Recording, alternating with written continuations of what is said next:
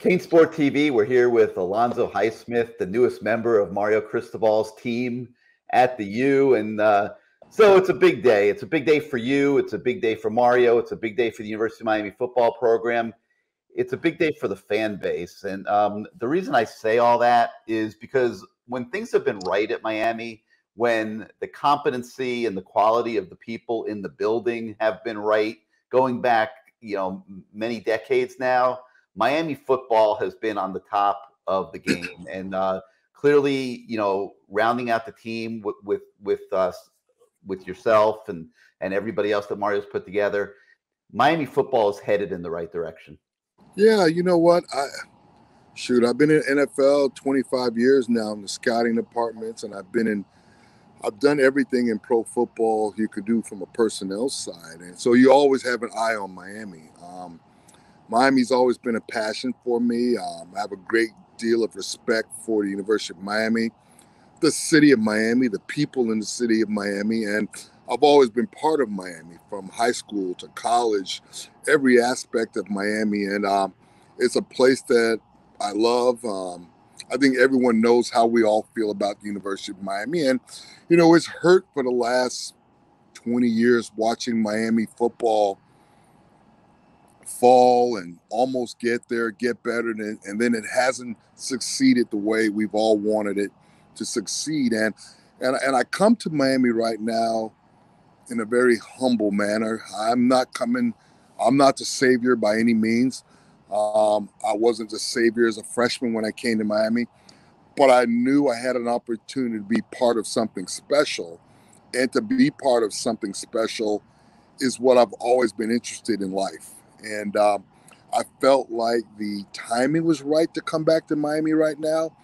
Um, I wanted to contribute to something I think can be special. And, and you know, meeting Dan Radakovich, knowing Mario for all these years from scouting when he was at Alabama, then at Oregon, and we know a lot of the very similar people, and we believe in a lot of the same principles. And it's going to take nothing but hard work at University of Miami. Um, like I said, I, I, you know, people think of me as Miami Brad, but I, I've always been a pretty humble guy, and you know, I'm down to earth, and that's always going to be my approach how I do things at Miami. I'm looking forward to working with Ed Reed and all the coaches and all the personal personnel staff, and hopefully I can bring something to that staff to help make us better.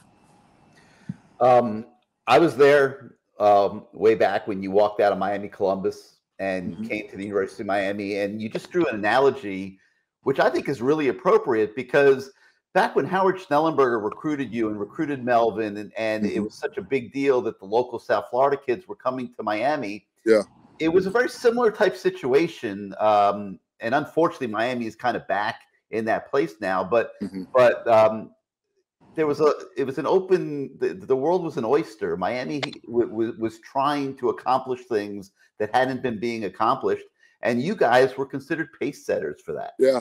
Well you know i always tell people this when you talk about miami when i was coming out of high school. My senior year in high school i had no thoughts about miami football. Um, my goal was to go to michigan or notre dame or oklahoma or something like that and um, because I, really didn't know much about the University of Miami. And um, if it hadn't been for Paul DeMauri and Coach Lavelle, I probably wouldn't have visited Miami. Um, I, I kind of thought at that time Miami really didn't have much to offer. I knew they were they played football, but I was interested in playing what I thought was a bigger stage, um, the Rose Bowl, the Orange Bowl, and I hadn't seen Miami in an Orange Bowl, but I got an opportunity to meet Howard Schnellenberger, and we had some great conversations. Then I started visiting the school, started going to practices, watching, and Howard sold me on a vision of what the University of Miami could be. Not what it was, but what it could be. And that really enticed me as a young man. He told me that, yes, you could go to Alabama yes, you could go to LSU. Less, you let, of course, you could go anywhere you want and go to school and be a good football player. But if you could come to Miami and be a great player here, we'll change the course of history. And that intrigued me. And you know, my first college football game I ever been I ever went to United States was the University of Miami versus Florida in 1981. I believe it was Jim Kelly in the Orange Bowl, and there were 72,000 people in the stands. And I saw a team come out and smoke, and I didn't know who they were. And they said it's the University of Miami because I was just from Montreal, Canada, and I was intrigued by Miami, but I still didn't know much about University of Miami because I hadn't really seen him on TV before. Um, you know, I remember my mom was adamant about me not going to Miami. You know, so that was a big battle in our home. And you know, you know when Texas A&M tells your dad your son's never going to play in a bowl game, Notre Dame tells your mom you're never going to play in a bowl game if you go to Miami. They've been on probation and all these sorts of things. And then you go on a recruiting trip and you meet Melvin Bratton, Jerome Brown, Winston Moss, and Brian Blades, and Howard Schnellenberger is telling you, Alonzo, you can be the cornerstone of making this a national figure at the University of Miami. And I said, How, how am I going to do that? And he said, Look, we're in South Florida. If I can keep the best players in South Florida, we will dominate college football. And we all looked around on a recruiting visit and said, maybe this guy's right, Howard Schnellenberger. Maybe he knows something we don't know. And Lord and behold, I signed with Miami. Melvin Bratton signs, Jerome Brown signs, Winston Moss signs, Brian Blade signs, Danny Stubbs signs. All these guys signed with Miami. And then Miami starts picking off parts of the best players across the country from New Jersey and California. Add all this into the mix, and something started brewing and we knew we had a winner. We knew that at that point, what Howard Schnellenberger was telling us was the truth. And that's how it all started for myself. And I say this to people, people will say, oh, Miami's just, Miami's living in the past. They can't know. You have to live in the past in order to move forward and you have to respect the past in order to move forward. I don't live in the past. You'll never hear me say we did it this way in the past, but will you what but what you will hear me, hear me say is we can't replicate the past, but we can make it better. You know, I, I think anytime you look at the car industry or anything that's innovative and yeah, we can't replicate building the car, but we can make it better. You know, we can do things better at the University of Miami than we did it in the past. It's a it's a totally new landscape. It's um than when I played college football. And but the good thing is I've been involved in college football the past 25 years. I've seen the rise of schools, I've seen the fall of schools. I've seen schools build facilities where they said they couldn't build. I I mean, I've seen the evolution of Clemson football. Um, Alabama. I, have been in all these places, and everywhere I go, it's been interesting for me for the past 25 years visiting schools because everywhere I go, they ask me about Miami. Yeah. Everywhere I go, what's going on down in Miami? If they ever get this thing fixed right. And that used to intrigue me because so many people used to bring that up to me. I've talked to so many teams across the nation about Miami. I've had coaches ask me, "Hey, I, we make our team watch the University of Miami documentary. Would you talk to our team?" I go to practices and college kids say, "Hey, are you the guy that was on that documentary about Miami? Man, we love that." And it's and it, it's kind of been a phenomenon, but it's also been fascinating and interesting the respect and the admiration people had for docu for a documentary and for Miami football. I think Miami football was that team that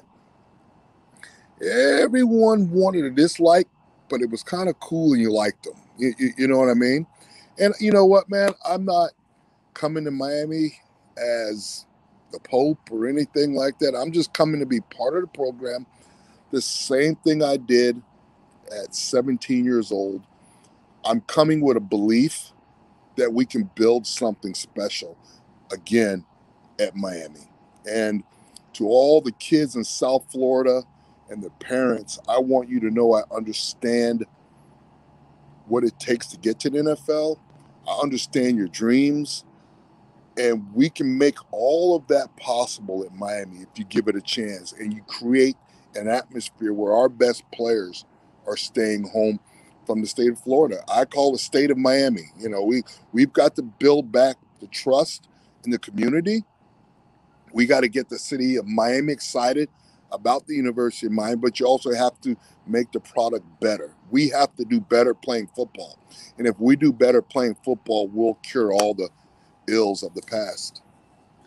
All right, so the title is mm-hmm. general manager of football operations though, but but the title is doesn't really matter no, here to me. I mean, it, it, it's like it's it's it's what you're going to be doing, and um, the the way the university is describing it is that you're going to support all administrative functions of the football program, including budget related items, culture building, program imaging, and that you're going to be working directly with staff members both on and off the field. You're going to yep. serve as a liaison between the administration and the football program, a liaison between former Miami players and staff.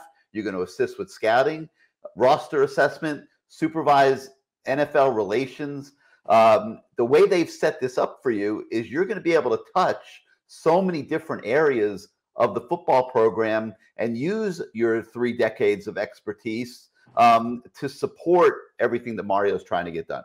And and that's exactly what I wanted to do. I I wanted to have a paintbrush and touch every part of the football program with the kids. I I was joking with Mario is that I would love to have a big couch in my office. Because I want kids to just come by and sit and talk. I I want to know who these kids are. I want to hear what their dreams are. I want to hear the, the, the, about the diversity in their life and what they've had to overcome to get there. And then I want to tell them my story. I want to tell them about the stories of all the great players I've scouted in the NFL and watched grow from from come from a free agent Trope Tramon Williams to 15 years in the league and and and those type of stories. And I want them to know that if you listen to me and you trust me, I can help you get where you want to get to in life. And and that's what this is all about. I I want to come back to Miami and help build a culture and help build men. I want them better than when they came in University of Miami. Not only do I want them to be great football players, I want them to be people of the city, people of the community. I want people to say not only he's a great football player, he's a great individual. That's what's most important to me. And that's the message you're going to hear me saying to parents. It's, you're going to hear me saying that to high school kids, kids coming on recruiting visits when we visit and sit down with them. I want them to understand that this isn't just about football, what we're trying to do at the University of Miami. We want to build men. It's it's a different culture than when I came in college, and it's a whole different world out there for these young men. And it's you always have to remember one thing, and I say this in pro football. Yeah, they're they're millionaires and, and coming in pro football, and in college they're big time recruits, but they're still young men who need some guidance, who need to know that people care about them, and they're more than just a football player. I know you're going to play football. I, I'm not worried about the football part, but I want you to maximize all your potential. And, and that's what this is about. You go to all the universities, mm-hmm. um, all the best ones in the country. You you scout mm-hmm. all the players, and you come to Miami. Um, where does Miami need to get better in terms of personnel, though? Like, you know, you're sitting at the NFL draft this year, and yeah. nobody's getting drafted. Um, where does Miami need to get better from a personnel standpoint? I think we just have to do a better job of the total evaluation and evaluating what what type of players fit for our culture. You know, we want kids with tremendous upside we want kids with great minds, kids that want to get better, kids that are totally committed, and kids that are willing to give more of themselves. Because if you're willing to give more of yourself, you're willing to do whatever it takes to win. And you know, we have to do a better job of developing players and and and you know, finding those kids who have the right DNA to be Miami Hurricanes.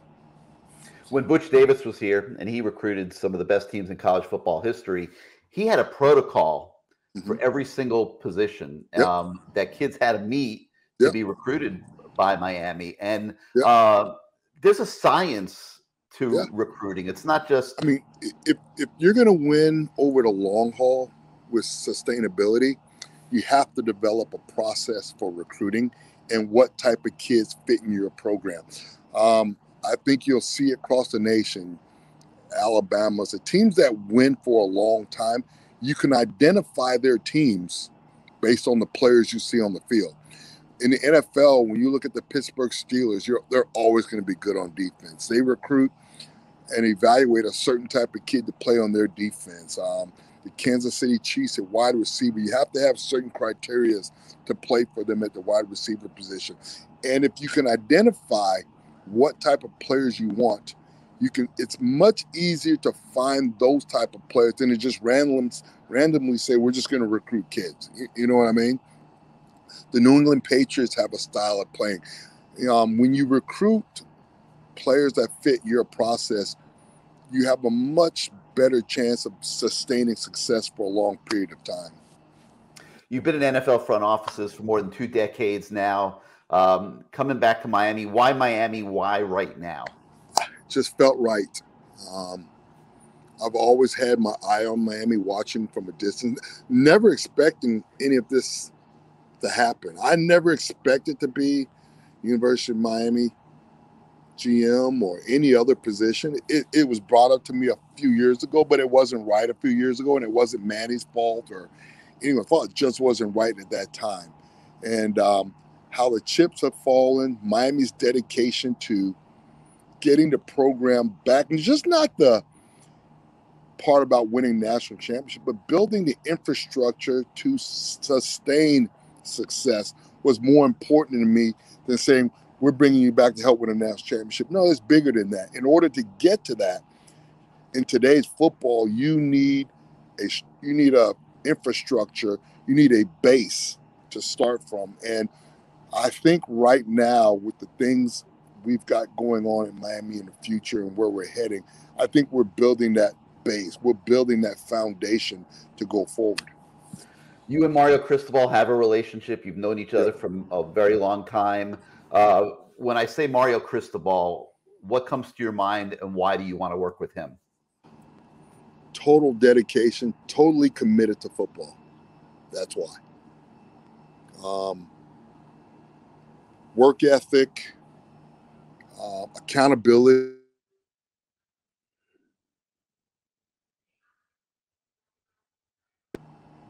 That's what Mario is. And he's been around great coaches. Nick Saban, you know, he's been around winning coaches and he understands what it takes to win. And Dan Radakovich has been around building a winning program. I just thought it was a great combination. It aligns with who Alonzo Highsmith is. Yes, everything. Um, you know, I'm a pretty outgoing guy and I like to have fun and I do, you know, I'm, I'm an approachable guy, but when it's time for business and time to get the job done, the task at hand, I'm all business and I want to win. I the winning, losing has never never been part of my culture. I haven't been around it very often, and it's all about winning. I'm all about winning. You're the final piece to the puzzle for Mario, but he has spent the last six months putting a staff together. Um, to my eye, it's absolutely unbelievable the group of men and, and women that he has pulled together here to be part of this Miami football program. Uh, when you came in to have conversations, your impressions just on the staff that's been put together? I know Kevin Steele. I know Charlie Strong. It, I know most of the coaches on their staff, so it's almost like a homecoming for me a little bit. And I used to talk a long time with Charlie Strong when he was at Texas. I used to talk a long time when I was with Kevin Steele when he was at Baylor and and in the other places he's been in the college world. Um, you know, college coaching is a six degrees of separation. So you know somebody that's connected to somebody who knows somebody, and it's just like that in the coaching world. So, you know, I don't know Jason Taylor personally. I know who Ed Reed is personally. Um, I know Coach Fields, a tight end coach. I know um, uh, Mirabal, the offensive line coach. I, I just know everybody. And the new D line coach, I knew him at Tech when he was at when I re- scouted him out of out of uh, the University of Texas. So, I mean, it, it was a great thing. Um, it was a perfect situation for me, and it made sense to me. All right, so you got a ton of packing to do. You got to get your butt down here to Miami. Uh, you're expected in the office, I think, next Wednesday. Um, so, so best of luck with that and uh, getting all your stuff packed and, and and the move. And looking forward, obviously, to many, many more conversations as we move forward. And everybody's thrilled to have you back at the U. Yeah, you know, and, and like the last thing I'm going to say is this: that it's not about me at all. It's about the program. It's about these players, and um, my goal with Mario is to help make these players better people and great football players. That's that's it. Nothing else. All right. So looking forward All to right. seeing you down in the 305 next week. All right. Take care. All right. Alonzo Highsmith, right. everybody.